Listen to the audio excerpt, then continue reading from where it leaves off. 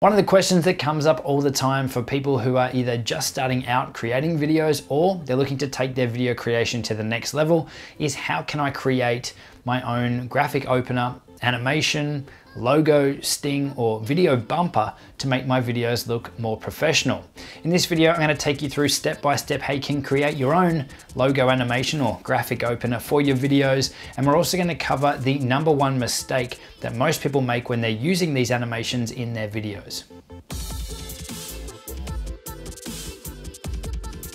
Hey, it's Justin Brown here from Primal Video, where we release a ton of content to help you get better results with your videos faster. If you're new here, then make sure you click that big subscribe button and all the links to everything that we're talking about in this video, you can find linked in the description below. So let's jump into it.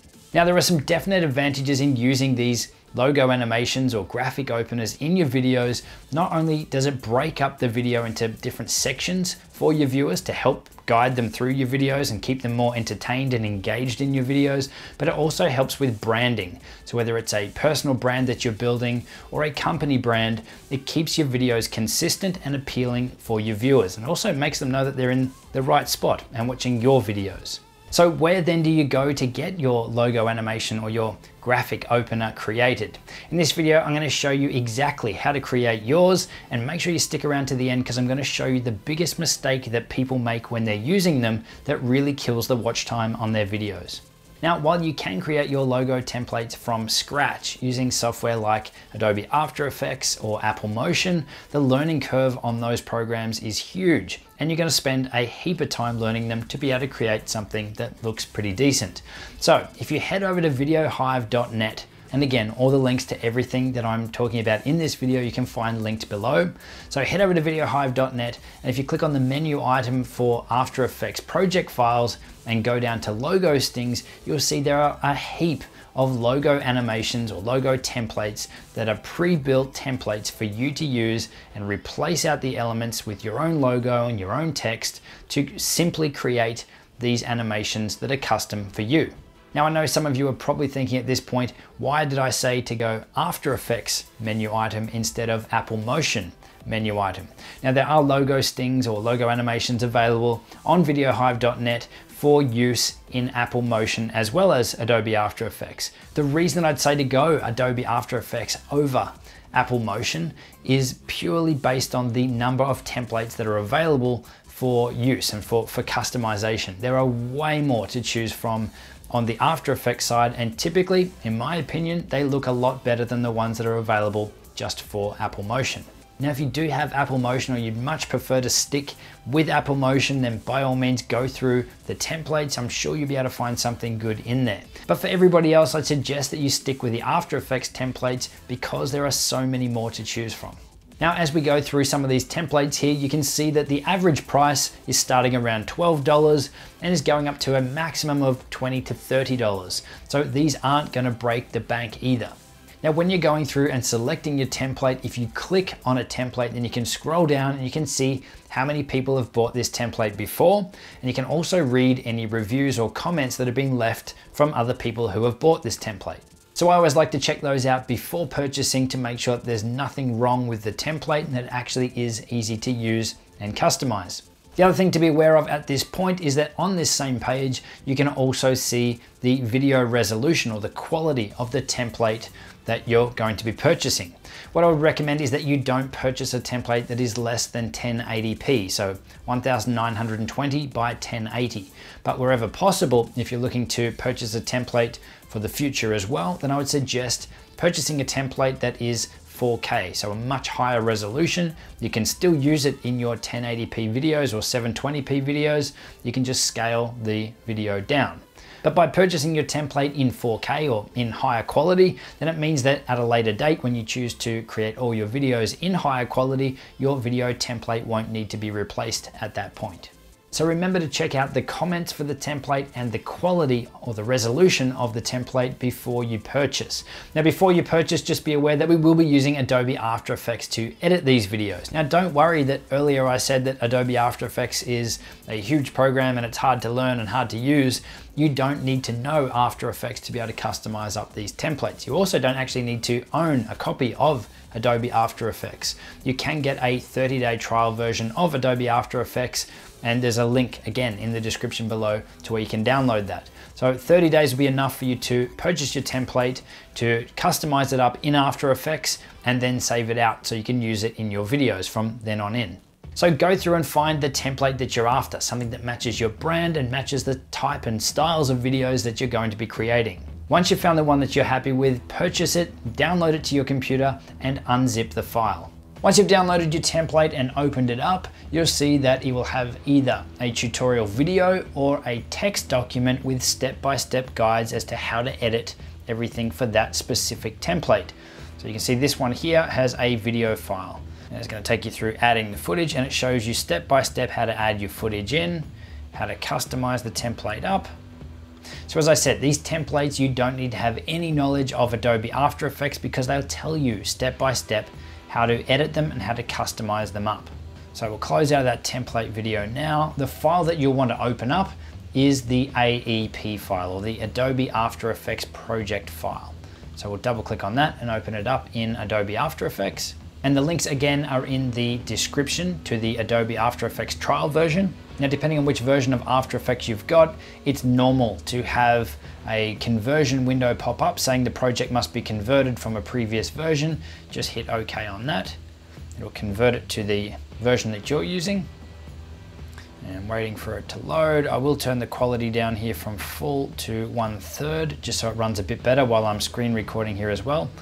And you can see that straight out as we swipe through this, this is our low quality version of our animation. So then it's just a matter of following through step by step the instructions for your specific template file that you've purchased in order to customize it up. All right, so the first thing to do here, as it says in the procedure, is to bring in the photos that you want to use to replace the blank placeholders in this template. So we'll come over here to Finder, and I've got a heap of photos here. So I'll select all of those and I'll drop them into this storage folder. Again, we're just following the procedure in the video that came with the template. So that's all that you need to do. But on the scale of things, this is probably one of the harder templates to edit because it's got photos and it's not just text. It's not just a static logo. So if you can follow through with this, then there's really no template on VideoHive that you won't be able to edit. So we've got our photos here that we're potentially going to use. We'll come up here to the edit folder and we're going to open up photo one, double click on that. And this is where we drop now our photos that we've just brought into our storage folder in on top of that photo. So we drop it down on the bottom here. So we pick the image that we want, we drag it down to the bottom there and you can see there is our image. Now you've got to scale it up because we were creating these uh, into a magazine template we've got to get the size right. So I'm just scaling up as you would in any other software, just using the blue handles here. And we'll slide this across here. So there's photo one. Then we'll grab another photo here for number two, drag that down and scale that up.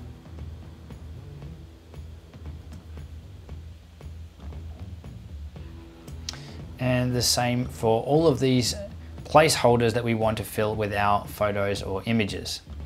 I'll drag another one down here now, slide that across. Number four.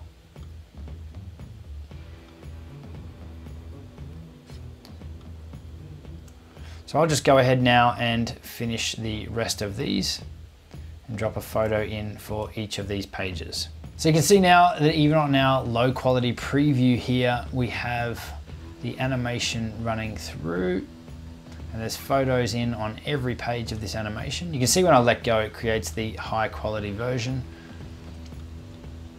That's only because I'm screen recording here and all the photos are in, but we haven't added our logo here. So the next step after adding in all our photos for this animation here is to add our logo in at the end because the last page of the book there reveals the logo. And you can see here that the length of this is only five seconds long before we're seeing our logo reveal. So you can see it goes for 12 seconds. You don't have to use the entire template, you can stop it and use the amount that you want. And I'd suggest that you keep your templates anywhere from five to 10 seconds on the longer end. Shorter is better. So we'll add in our logo now. So to do that, we come back up here under edit photo. We want to edit logo. Edit logo here. So we double click on this one. And we come down and click down the bottom here.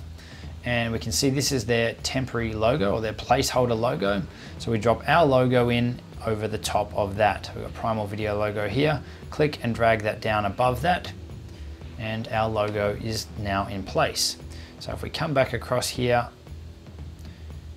to the HDTV 1080p project, which is the actual project file that we started with, the main project file, then we can see that at the end of the book, then our logo is revealed. And the other thing that you can do then on that back screen is there's also a spot there for web address. You see there's another one here, web address. If we double click on that, then we can type in here, double click to edit the text. Let's go primalvideo.com. When we click off that, that's applied. We come back, we scroll across here, back to our primary project. And as we go through, you can see that the website then flashes up at the end. So that's how easy it is to customize up these templates. Now this, as I said, was one of the harder ones because we needed to replace 20 images and scale them up to the right size so that they looked good for this template. But in actual fact, for most of the templates, you won't need to do this. It will just be dropping in your logo, maybe dropping in a couple of images, or changing out some text so that it suits your brand or your company. Then it's just a matter of exporting this out or saving this out as a file that you can use in your videos. So we'll come up here to File, down to Export, and we'll choose Add to Adobe Media Encoder Queue. We'll click on that. That'll open up Adobe Media Encoder. Now all you need to do is select where it says Output File to choose where you want to save your file to. We'll just select the desktop. You can give your file a name, Primal intro, and we'll select save. And then you can choose your preset for your export. Now in most cases, the match source high bitrate will be fine. But if you'd like to customize up your export settings, then you can click on this match source here and you can choose other file formats or other presets for exporting your video file. We'll cancel out of that now and leave that as default. The other thing you can do in here is if you don't want to export the full amount of the clip, the full 12 seconds as this went for, then you can move these little white handles here to mark out your start or your end time. So leaving it where they are by default, you can see it's starting at the start and it's finishing at the end. If we want to shorten it here, we want to finish this at around this point, then we can drag this little arrow back and we're adjusting our end point. So you can see here that the duration of this clip now, if we were to export it out now, would be 8 seconds with 21 frames, so nearly 9 seconds long. So all the extra stuff at the end that we didn't need, we don't need to save out into our video file.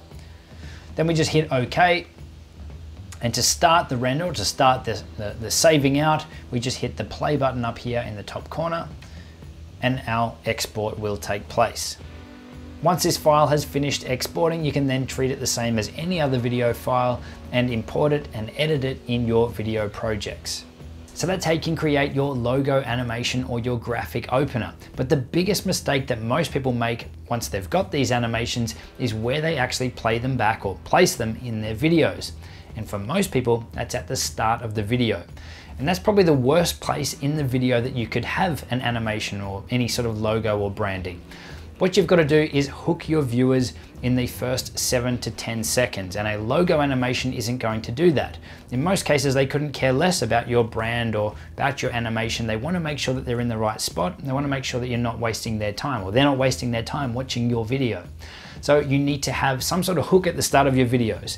not an introduction from you or a logo animation. It needs to be what are they gonna see in your video and why they should stick around. And then you can have your logo animation or your title animation and your brand building at that point. After you've already hooked them, after they're, they know that they're in the right spot, you can then tell them more about you and about your brand and show them your fancy animation. And then jump into the content for the video. And also it's a good idea to keep your logo animation short. I would say a maximum of 10 seconds. The attention spans on everyone these days is so short that you want to just jump to the information as quickly as you can or your viewers will jump ship and go and find another video that will serve a similar purpose. So make sure that your logo animation isn't the first thing at the start of all of your videos and that there's some sort of hook or explanation to your viewers of what's going to be in the video, then have your animation and then onto the rest of your content. And it's also really important then to keep your logo animation short. If you found this video helpful, then make sure you click that big subscribe button if you haven't already, and check out the video linked on screen now where we show you how to create awesome animated titles for your videos. I'll see you soon.